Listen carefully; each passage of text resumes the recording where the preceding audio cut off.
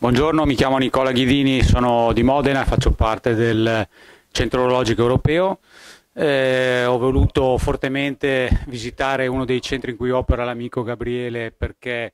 volevo eh, vedere dal vivo la fattibilità, la semplicità e soprattutto constatare la riproducibilità